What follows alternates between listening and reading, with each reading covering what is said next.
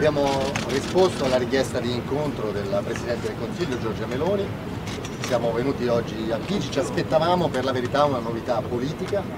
dopo quattro mesi di discussione in Commissione, dopo la scelta della maggioranza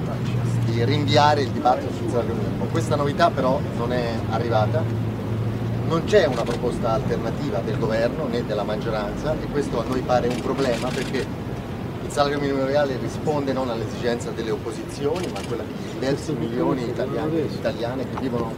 e lavorano in condizioni di povertà,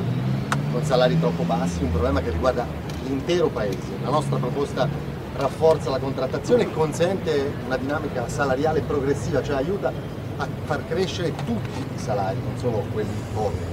Dunque non c'è una proposta, ancora non c'è una proposta. Giorgia Meloni ci ha detto che il tema è un tema importante, che il governo vuole confrontarsi con le opposizioni sulla materia complessiva, naturalmente noi siamo disponibili al confronto, anzi consideriamo questa disponibilità della Presidente del Consiglio un primo risultato dell'iniziativa convergente nelle opposizioni, un successo della nostra iniziativa ed è il motivo per cui continueremo nei prossimi giorni, nelle prossime settimane la nostra battaglia politica sulla nostra proposta di legge che continuiamo a ritenere una proposta di legge efficace, solida e utile a risolvere uno dei problemi del nostro mercato del lavoro, non la panacea di tutti i mali, ma una risposta efficace. Su questo continueremo a lavorare, chiederemo il sostegno